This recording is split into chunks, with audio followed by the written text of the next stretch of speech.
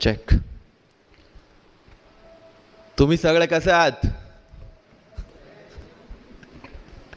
इतना ही आता. है so first of all cultural capital of Maharashtra और ऑक्सफोर्ड ऑफ़ द ईस्ट जिसको कहा जाता है, ऐसे पुणे के सभी लोगों को गुजरात का वंदन। लास्ट प्लेयर लंबी पारी खेलनी थी, लेकिन टाइम हमारे पास बहुत कम है। जितना एसेंशियल है, जितना बहुत इंपॉर्टेंट है, उतनी चीज़ें मुझे बतानी है।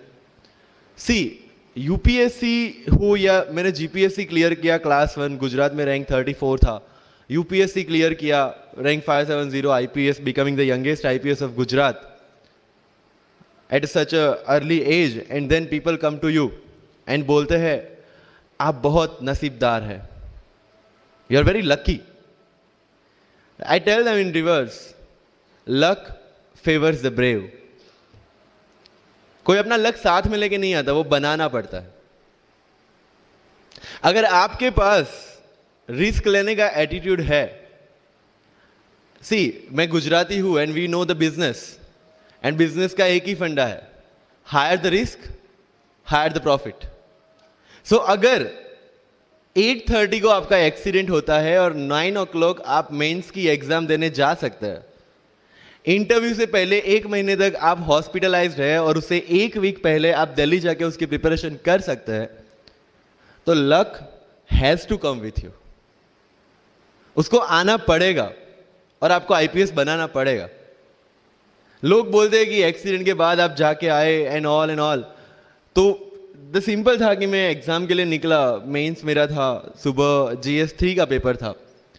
8:30 को मेरा स्कूटी स्लिप हो गया, मेरा लिगामेंट इंजरी हो गया लेफ़्ट हैंड में इंजरी था सीट से ब्लीडिंग हो रहा था। लेकिन मेरे पास दो ऑप्शन थे। मैं खड़ा हुआ, मैंने देखा okay my right hand is safe and I decided I go to the exam hall and write the exam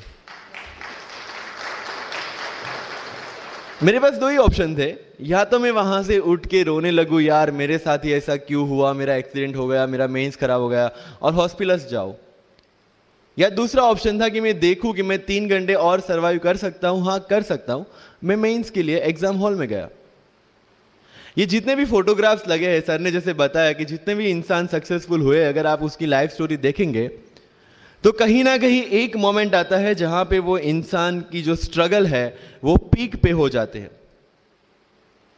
वो इस मोमेंट पे आपको डिसाइड करना है कि आपको वहाँ से यू टर्न लेना है या आपको वहाँ से आगे निकलना है। इन सब लोगों ने डिसाइड किया कि उनको वहाँ से आगे निकलना है।